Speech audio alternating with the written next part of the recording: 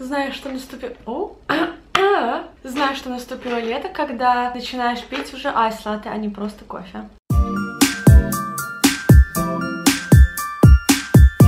Всем привет, меня зовут Саша. И сегодня я хотела бы поговорить с вами о рекламе в Инстаграм. Под этим я не имею в виду рекламу, которую можно купить у самого приложения, потому что если давайте серьезно, то это точно не работает так же эффективно, как реклама, о которой буду говорить сейчас я, а именно про рекламу у блогеров. Если вы следите за какими-то популярными личностями в Инстаграме, то я уверена, вы уже видели у них рекламу а, продуктов или других людей, как в профиле, так и в историях. И я уверена, что вам уже известно, что на данный момент в Инстаграме продвинуться и как-то стать более популярным стало намного сложнее, чем было несколько лет назад, потому что, естественно, интересных а, личностей стало на нем намного больше. Поэтому сейчас для того, чтобы продвинуться, люди либо покупают рекламу блогеров, либо делают СФС с людьми с похожим количеством подписчиков для того, чтобы найти своего зрителя. Я на удивление еще не видела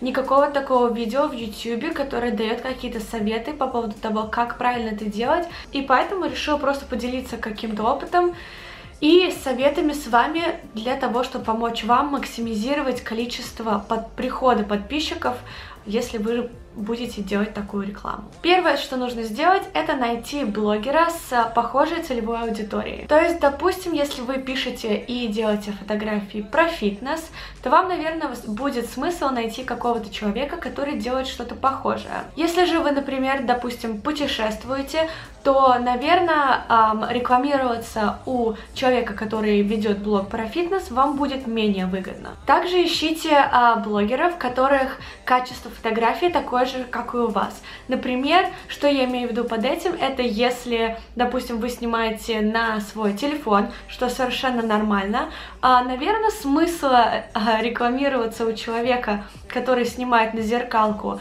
а потом еще и профессионально редактирует все в Lightroom, нет. Ну или если есть, то, наверное, все равно приход подписчиков будет меньше, нежели если вы будете делать это у какого-то человека, который делает что-то похожее, что и вы. Так, э, допустим, вы нашли правильного человека, которого вы либо хотите купить рекламу, либо хотите вместе с этим человеком э, прорекламироваться друг у друга в профилях. В этом видео я буду говорить больше про именно рекламу в историях, нежели в профиле самом, просто потому что, э, как показывает статистика, рекламироваться в историях намного выгодней, потому что, несмотря на то, что охват э, в самой ленте может быть больше у человека. Люди, как принято, смотрят и замечают рекламу в историях больше, и шансов, что они именно нажмут на ваш профиль, больше. В историях обычно принято выставлять где-то два или три слайда, и главное, что нужно сделать, это а, задизайнить свои два или три слайда так,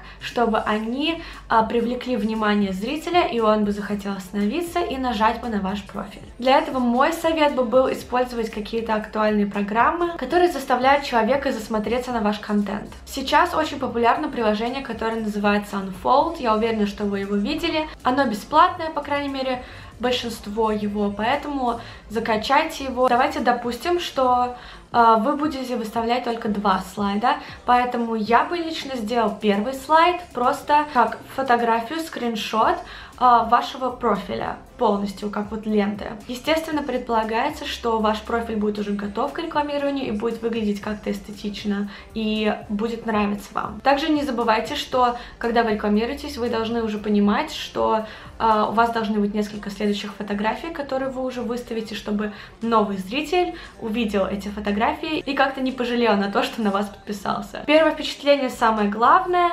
и если честно, я бы, наверное, и вот этот скриншот хоть его можно просто попросить выставить, как он есть, я бы и его, наверное, задизайнила в приложении. Дальше, следующий слайд, я считаю, должен состоять либо из одной или двух эффектных фотографий, которые хорошо отображают контент вашего профиля. И вот вам лайфхак о том, как их выбрать. Если у вас есть блогерский аккаунт, то есть вы его подключили к Фейсбуку, и у вас написано либо personal blog, блог, ну что там еще пишется, то у вас есть статистика. Значит, если у вас есть статистика, то мы в нее заходим в правом верхнем углу, потом мы нажимаем на контент, то есть штучку посередине а, из трех вот этих вот надписей наверху, И а, дальше заходим в feed, то есть смотрим на все фотографии, которые вы когда-либо выставляли. Потом смотрим на фотографии за 30 дней, то есть это можно выбрать наверху. И смотрим на либо на лайки, либо на сколько людей их посмотрело, потом нажимаем apply. И у вас просто высветится фотографии, которые за ближайшие 30 дней, сколько лайков они набрали, сколько э, просмотров они набрали. И тут вы можете видеть, какие фотографии набрали больше всего просмотров или лайков за эти 30 дней. Я бы вам посоветовала выбрать самые верхние две, потому что эти фотографии это те, которые произвели самое большое впечатление на аудиторию вашу, и это, скорее всего, самые а, какие-то удачные фотографии, которые скорее всего, зацепит публику, если она увидит их в рекламе. Если же вы не подключены на аккаунт блогера, то просто посмотрите, какие фотографии у вас набрали больше всего лайков за недавние, там, 2-3 недели, и их выставляйте. Дальше, текст. Он должен быть коротко и по сути. Надо просто подумать, что отделяет именно вас от других блогеров в Инстаграме, потому что, естественно, крутых аккаунтов много, и для того, чтобы человек подписался именно на вас, у вас должно быть что-то, что его должно зацепить. Поэтому нужно придумать что-то такое, а, на что человек посмотрит и захочет нажать на ссылку на ваш профиль и а, посмотреть на ваш контент. Следующий лайфхак. Добавляйте ссылки, наверх которых блогер, у которого вы рекламируетесь, сможет а, просто поставить такую же ссылку уже активную. Что я имею в виду под этим, это просто зайдите в Instagram Story,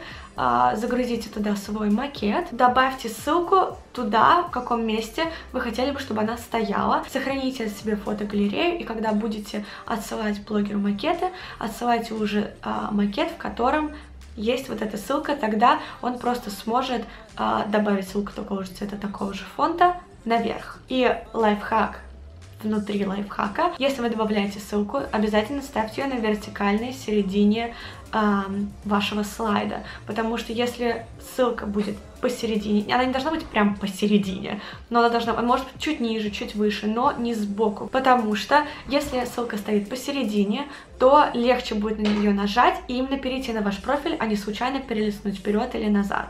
И на этом с советами у меня все.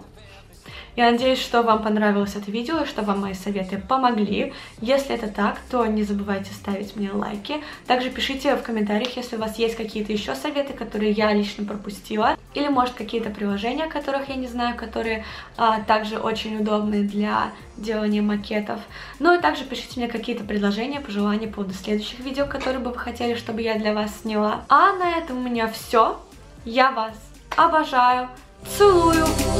Пока. lost with you.